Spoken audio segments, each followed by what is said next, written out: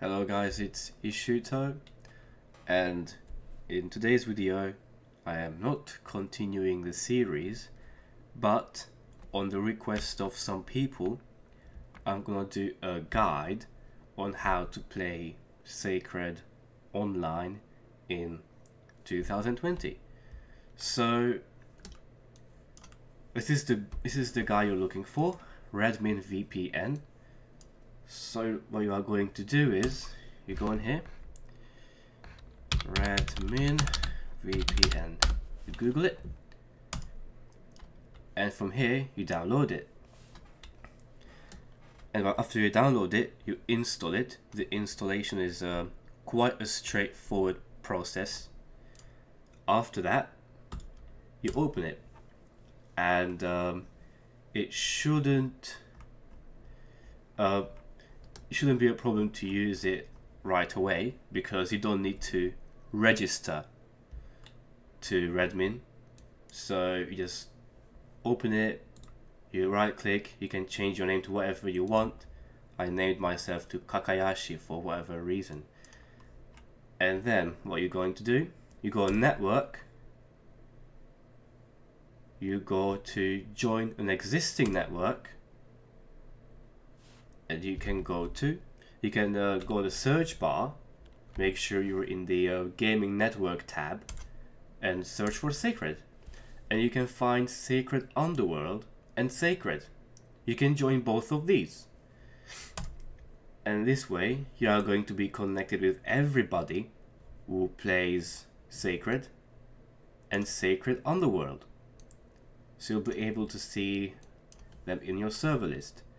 Now, one more thing you need to do is you go to um, the control panel. You'll search for network and sharing center. In here you should now have Radmin as soon as you install it. You press on it. You go to properties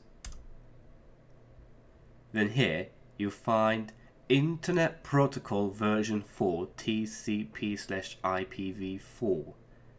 You press on it and then you go to properties and you'll see this. Here you go on advanced and here you have to make sure that the automatic metric is not ticked and here the interface metric says 1. After that, you press OK, OK, close, close, and that is it. That's about this bit.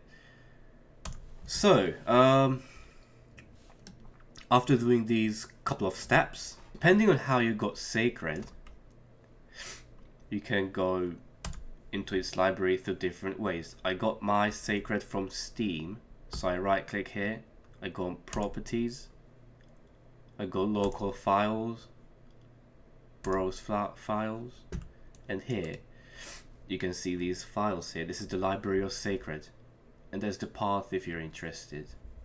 So here you are going to change three of the files in here. You want to have this open. So first thing is you go to games game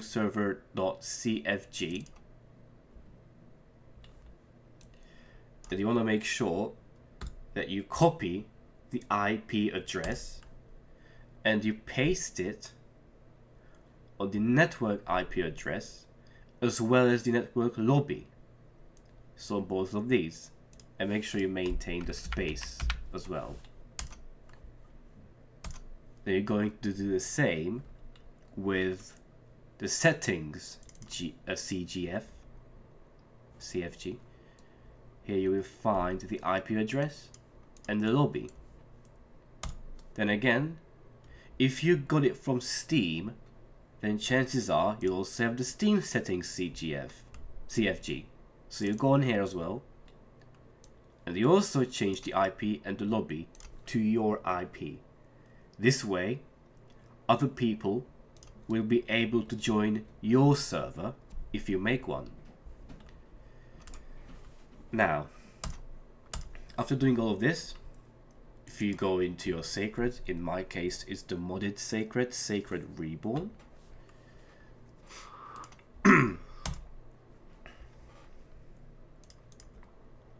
Let's say go in here, why not? So here I can see a couple of servers out there and these are not mine, these are different people's servers.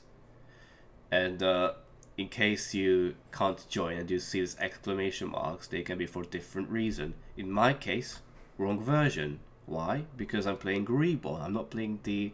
I'm, I'm not in the vanilla Sacred right now. I'm in the Reborn version of Sacred right now. And also level limitations. Also, you want to make sure that you select the ISDN slash modem when you try to join somebody's server, not LAN. Now, another potential issue. For some people, it still may not work. What you can do is here you type firewall, you go on firewall and network protection. This will lead you here. So you might want to experiment with this and start might want to turn all of, all of these three off. So go on domain, turn it off, yes. Back, private network, turn it off, yes. And then public network, also turn it off, yes. And then you can try again. Now let's turn all of these back on because I don't need to turn it off to be able to play. Now, if somebody cannot join your server, that's usually because you either have the wrong IP in place or you have your uh, or their firewall is blocking their connection to you or your firewall is blocking your connection to them.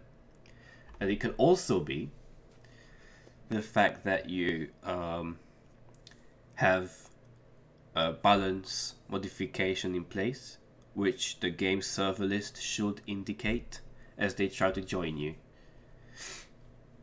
And if you can't join somebody else's server, that's because their IP is wrong or firewall is blocking the connection from one way or the other, or again, because there's a modification in place. There is nothing else that should be preventing your connection with others. So yeah, uh, thank you very much guys for watching this tutorial.